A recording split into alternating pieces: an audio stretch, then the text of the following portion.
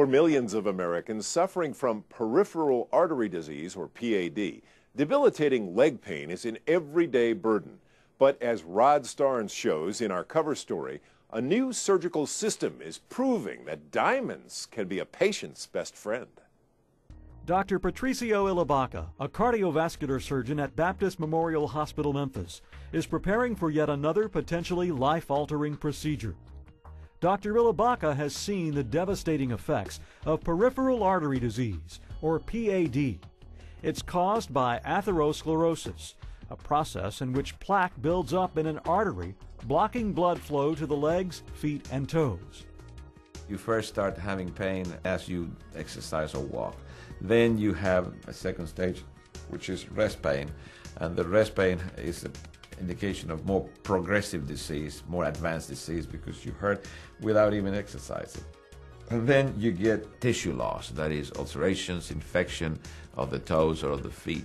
There's uh, patients who, you know, the destruction of the tissue is such that there's no way to restore the foot and you end up with an amputation. PAD is common in the elderly, patients with diabetes and hypertension, smokers, and those who are obese.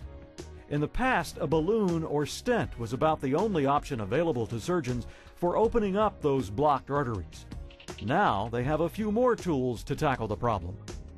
As you might recall from a previous episode of Smart Medicine, the Silverhawk plaque excision tool was a major advance in cardiovascular surgery.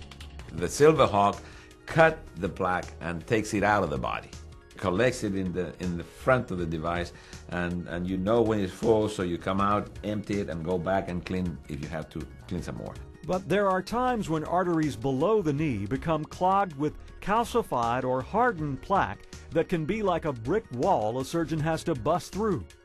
For that job you need a tough tool as tough as a diamond the Diamondback 360 is a new procedure for treatment of vascular disease of the legs. It's diamond dust, you know, that is embedded in a in a crown, and that crown is attached to a to a wire, and that rotates, and it sands by rotating inside of the artery, and the particles that it creates, it's black that is uh, very small so it doesn't get stuck in the capillaries. It's just sanded into your body and it just goes on through the blood uh, like a, a microscopic particle.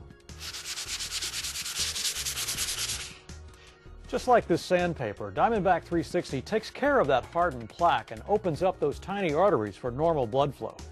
But Dr. Ilabaca cautions the device is not for every patient. If the plaque isn't calcified, it would be like trying to sand down a piece of fabric. That's why it's important for the surgical team at Baptist to have every option available for patients. I think you have to have it all. You know, it is not, it is in the best interest of the patient. You have to have the balloons, you have to have the, the wires, you have to have the Silverhawk, and you have to have the Diamondback. Because if you say, hey, I need a Diamondback and, and I don't have it, then you're going to have to settle for second best. And, you know, that's not good for the patient. What is good for both patient and physician alike is awareness of how serious peripheral artery disease can be. Atherosclerosis is a very prominent disease in this community, um, in the Mid South, in the South. The main thing is you need to be looking at your legs.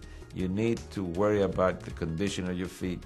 If there's an infection or an ulcer, uh, a sore that doesn't heal, you know, you need to see a physician. With these latest medical advances, surgeons are no longer limited in treating PAD.